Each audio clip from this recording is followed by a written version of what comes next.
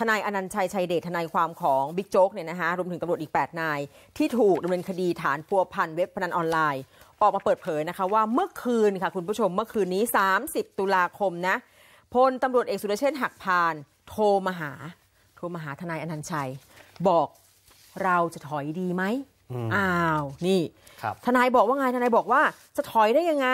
เพราะยังมีน้องๆตำรวจอีก 8 นายที่ถูกดำเนินคดี และตัวทนายเองก็มองว่า มันเป็นการถูกกลั่นแกล้ง รวมถึงตัวบิ๊กโจ๊กด้วย ก็จะยอมไม่ได้นะ แต่ถ้าบิ๊กโจ๊กเนี่ยคิดว่าทนายอนันชัยไม่สามารถจะทำคดีให้ต่อไปได้ ก็ขอให้ถอนทนายอนันชัยออกมา แต่จะมาบอกให้ตัวท่านทนายเนี่ยหยุดเอง ท่านบอกไม่หยุดค่ะคุณผู้ชม ท่านบอกไม่หยุดนะ จะมาเปลี่ยนม้ากลางศึกตอนที่กำลังรบทำไม่ได้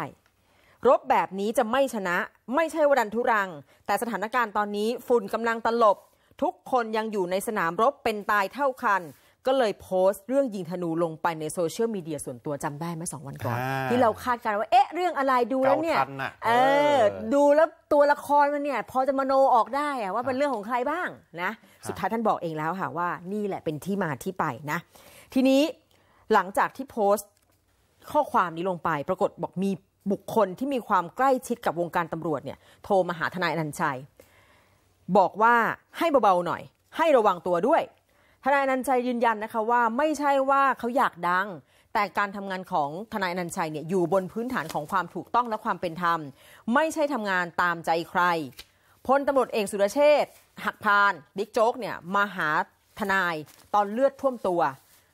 ตัวทนายเองในฐานะแม่ทัพก็ต้องออกมารักษาแล้วก็รบต่อนะคะส่วนคนที่วิพากษ์วิจารณ์ถ้าไม่ได้มาร่วมรบด้วย ก็ขออย่ารู้ดีไปกว่าตนนะ